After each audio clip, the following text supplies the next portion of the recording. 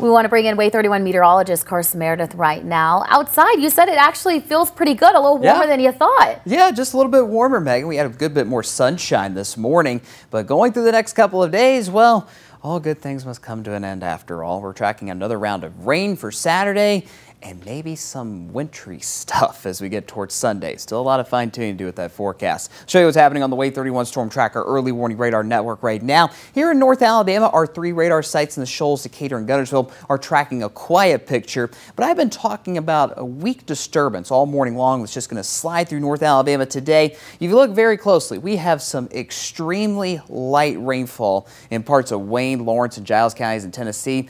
Odds are, given how dry our atmosphere is, a lot of this rain that we're detecting isn't quite making it to the ground. But just to be on the safe side, we're going to keep that 10% chance for an isolated sprinkle throughout the rest of your Thursday afternoon. Future radar looks like this. Odds are many of you will see just clouds throughout the rest of the day today. Those clouds do move out later on tonight. Clear skies when you wake up Friday morning. Those temperatures a bit cooler tomorrow morning, right around freezing in the lower 30s. Then you see that cloud cover filtering back in tomorrow afternoon, but we will stay dry for your Friday. Those highs are in the low 50s tomorrow, and we stay quiet for the most part until Saturday afternoon. That's when we start to see some rain move in ahead of what could be, for some folks in the southeast, a significant winter storm. Now, for here in North Alabama in particular, there is still a lot of uncertainty with this forecast. Here's what we can say with confidence. We will start to see rain Saturday afternoon, just plain rain. So if you have any Saturday plans, it's going to be wet. Make sure you have that umbrella, but no winter weather concerns on Saturday.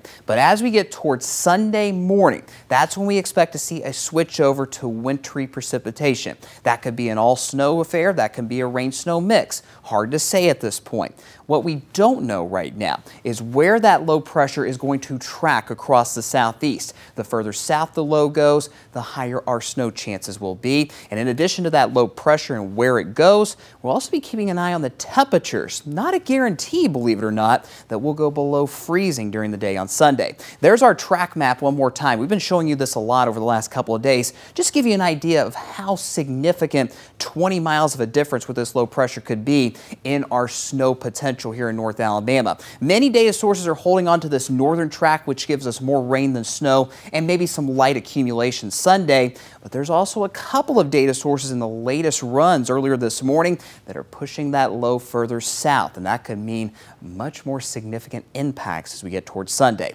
But for now, let's go through future radar with this particular data source. There you see that rain Saturday afternoon heading into Saturday night. That low pressure goes right along the Interstate 20 corridor in Alabama heading into Georgia. You see that transition back to all snow as we get towards Sunday morning, continuing through Sunday afternoon. The more significant impacts look like they'll be in Georgia and South Carolina, where we could have a significant snow or even ice storm between Atlanta and Charlotte as we get towards Sunday.